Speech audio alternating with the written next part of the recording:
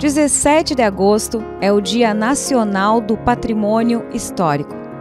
Esta data marca o nascimento de Rodrigo Melo Franco de Andrade, o primeiro presidente do Instituto do Patrimônio Histórico e Artístico Nacional. Em Santa Maria, o atual prédio onde funciona o Poder Legislativo foi inaugurado em 7 de setembro de 1895, como prédio da Intendência.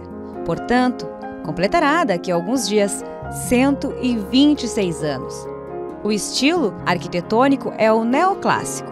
O terreno onde foi construída a Câmara de Vereadores de Santa Maria pertencia ao município e a Casa do Povo foi projetada pelo imigrante italiano Cesare da Corso, radicado em Santa Maria. No final deste ano de 2021, a Câmara de Vereadores comemora 164 anos de história pois no longínquo 16 de dezembro de 1857, Santa Maria da Boca do Monte foi elevada à vila, pela Lei Provincial número 400.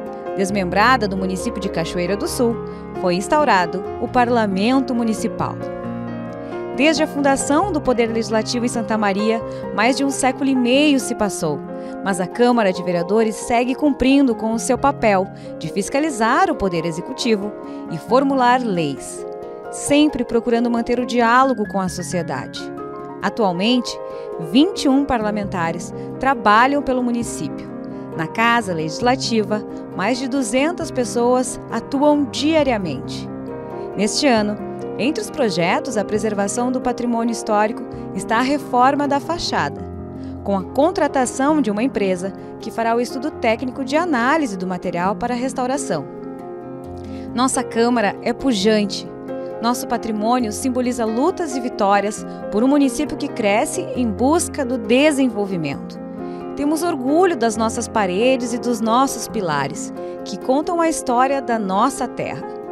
Ao nosso maior patrimônio histórico, a Casa do Povo.